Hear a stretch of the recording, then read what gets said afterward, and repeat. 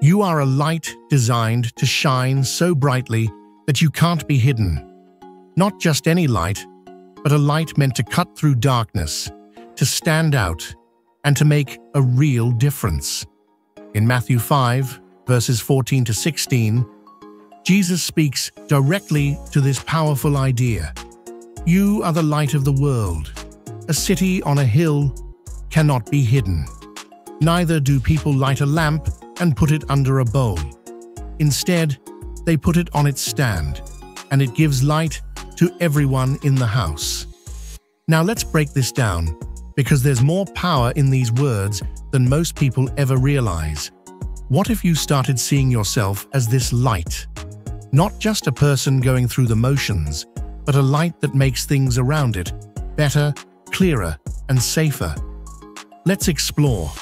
How can these words change the way we live today? How can they shift how we approach our relationships, our work, our struggles, and our purpose? We're often told, just be yourself. But this passage from Matthew asks us to go even further. It says, be your brightest self, Shine your unique light, even if no one else around you is doing the same. That's the power here. In the Bible, there's a small story about a woman named Abigail. Most people don't know her story, but it's remarkable. Abigail was married to Nabal, a harsh, foolish man who had offended David, the future king. As a result, David was furious and ready to attack Nabal's household. But Abigail, knowing what was at stake, stepped in with incredible courage. She brought food and supplies to David's men, apologized, and ultimately saved her family from destruction. Abigail could have stayed silent, hidden in the background. She could have thought, I'm just one person. I can't change this situation. But Abigail shone her light. She stepped into her role as a peacemaker and that act saved lives. How often do we hide our talents, our opinions, or even our kindness because we're worried about what others might think? Abigail didn't wait for anyone's approval. She just acted. And that's our first takeaway. Don't dim your light to fit in. You have gifts, ideas, and perspectives that are valuable, no matter what anyone else says. Let's start being bold with them. Let's get practical. How can you live out this idea of being the light in a way that makes a real difference? 1. Embrace your uniqueness. Think about this. There's no one else exactly like you in the world. Not a single person. And that makes you powerful. One practical way to start shining your light is to share more of what makes you, you. Let's say you have a unique talent for solving problems or a passion for helping others. Use it. Get involved in community projects or volunteer your skills.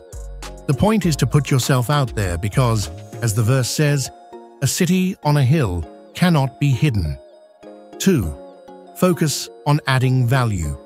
Wherever you are, at work, in school, or even at home, ask yourself, how can I add value to the people around me.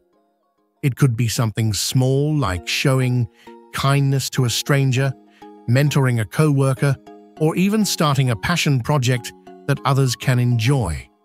In today's world, where so much is focused on getting ahead, it's easy to forget the simple power of giving.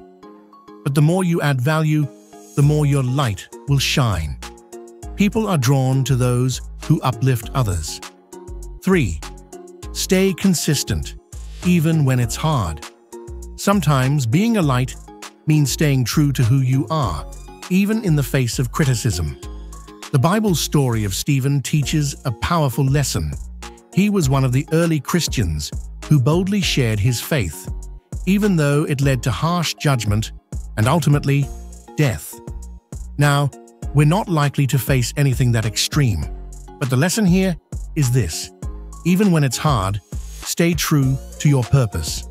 Don't let negativity, doubt, or fear dim your light. Consistency in your values is what will make you shine even brighter over time. If you're finding this helpful, hit that subscribe button.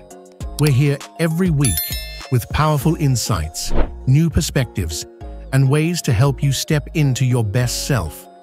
Shining your light isn't just for you, it's also for the people around you. Jesus says in verse 16, Let your light shine before others, that they may see your good deeds and glorify your Father in heaven. Imagine a teacher who goes beyond the regular curriculum to truly connect with each student, inspiring them to believe in themselves. Or think of a neighbor who organizes events to bring people together. Small actions like these are ways of letting your light impact others. Ask yourself this week, how can I serve others with my light? It doesn't have to be dramatic. Sometimes, the simplest gestures, listening, sharing a word of encouragement, or offering a helping hand can make the biggest difference. One of the biggest obstacles to shining your light is fear. Fear of judgment, fear of failure, or fear of standing out too much. But remember, Jesus didn't say, be the light only when it's convenient. He simply said, you are the light. In today's world, fear of judgment can keep us from pursuing what matters. But here's a truth bomb. People's opinions don't define your worth. Their criticism or lack of support doesn't dim your light. Think of Daniel in the Bible. He openly prayed to God despite being in a foreign land where it was illegal, and his courage led to him being thrown into a den of lions. But Daniel's light shone brighter because he stayed true to who he was. Your purpose, your light, it's stronger than any fear. Take small steps to push through those fears. Start sharing your ideas at work. Speak up in meetings or reach out to that person who might need your encouragement. You don't have to be loud or dramatic.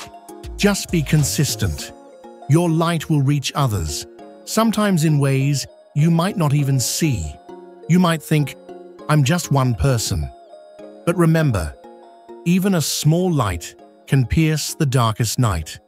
The world needs your unique light, just as it needed Abigail's courage, Stephen's conviction, and Daniel's faith.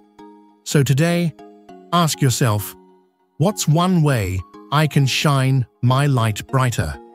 Make a commitment this week. Whether it's through kindness, courage, creativity, or generosity, let that light shine. Remember, the power is already within you. You just have to turn it on and let it shine. If this message moved you, if it inspired even a spark of hope or courage, hit that subscribe button. We're here to help you step into the fullness of who you're meant to be every single week.